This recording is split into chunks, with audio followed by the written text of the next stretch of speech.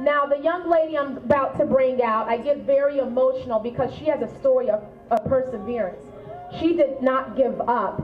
She has been on this stage multiple, multiple times. So, of course, when she won this year, it was very emotional. The crowd, I mean, it was a roar. Uh, during Miss Florida USA, because if you know this young lady that's about to come out, she never gave up. She kept coming on this stage. Her name wasn't called every time. And she said, I'm going to go back. I'm going to go back until I win. And ladies and gentlemen, she's a testament to show you to not give up. And I am so honored to now bring out your Miss Florida USA who represented this county. Love her so much.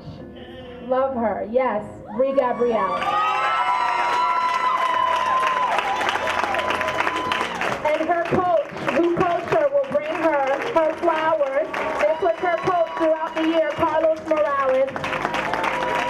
And I'm going to read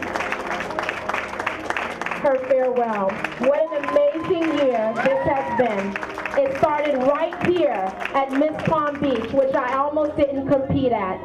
Thanks to my family, Lulu and Carlos, for telling me to compete just one more time. I am now on my way to Miss USA.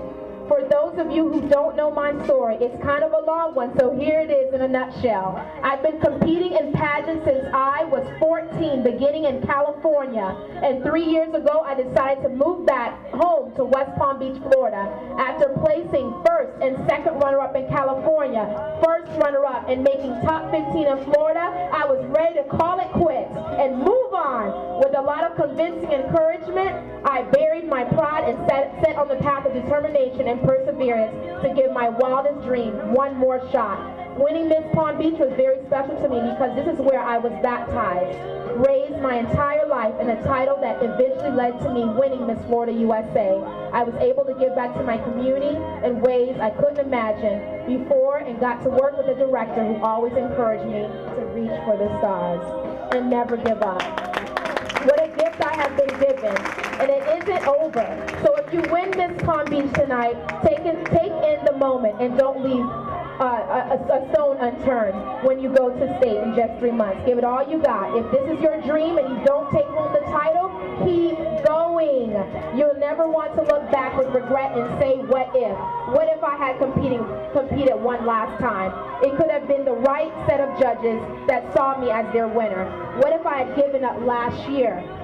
Like I was so close to doing, I wouldn't be standing here as your Miss Florida USA. And I definitely wouldn't be preparing to go to compete to Miss USA stage.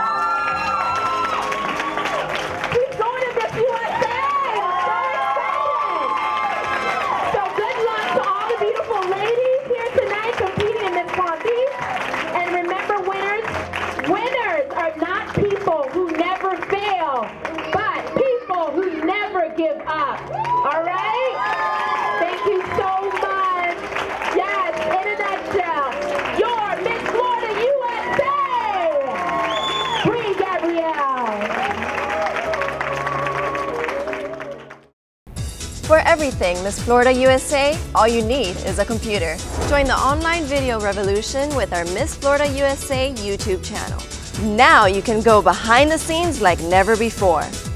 Watch exclusive videos. Then follow the excitement year-round as we tour the state in search of next year's title holders. Join the online video revolution, the Miss Florida USA channel on YouTube.